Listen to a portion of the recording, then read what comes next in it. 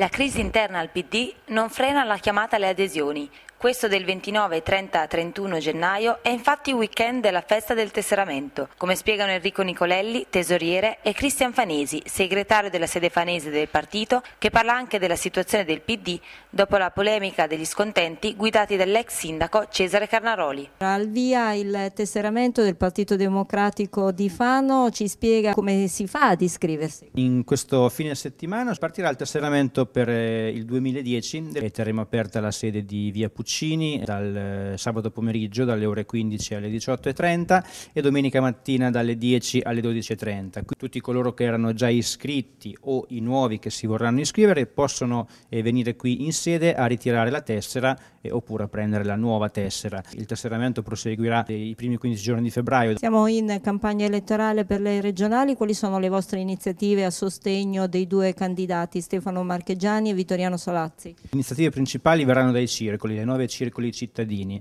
Saranno il vero cuore della campagna elettorale e ogni circolo naturalmente in questi due mesi eh, proporrà un'iniziativa per territorio, per zona, eh, dove saranno presenti i due candidati e a livello di eh, Partito Democratico Fanese avremo delle iniziative d'intesa con il provinciale, sicuramente verrà un leader nazionale e ci saranno eh, un paio di forum che eh, si svolgeranno nel territorio di Fano, in particolar modo il forum del lavoro dove anche naturalmente i nostri due candidati interverranno anno.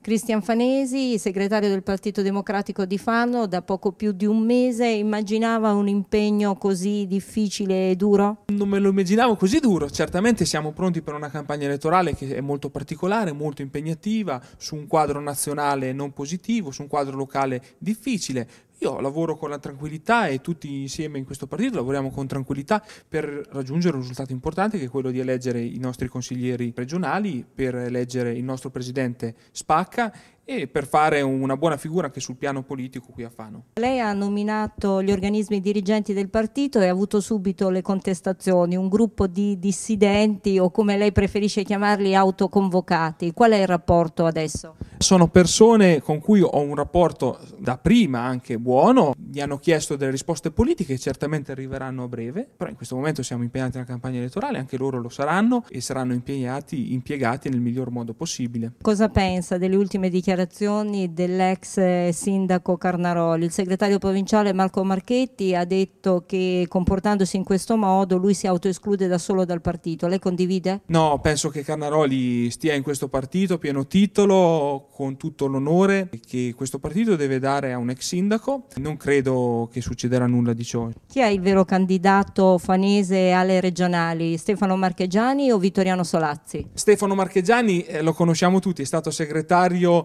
comunale del Partito dei Democratici di Sinistra già diverso tempo fa e quindi è a pieno titolo candidato fanese di questa città. Ci sono anche altri candidati che hanno lavorato bene in regione, Vittoriano Solazzi è uno di questi, e ovviamente su Fano conteranno anche su un appoggio che va oltre all'appoggio eh, di Stefano Marchegiani. Cosa risponde all'accusa che il PD fanese è controllato dalla componente ex Margherita? Il PD fanese è seriamente condotto da me, da un gruppo di giovani che stiamo lavorando con serietà e serenità.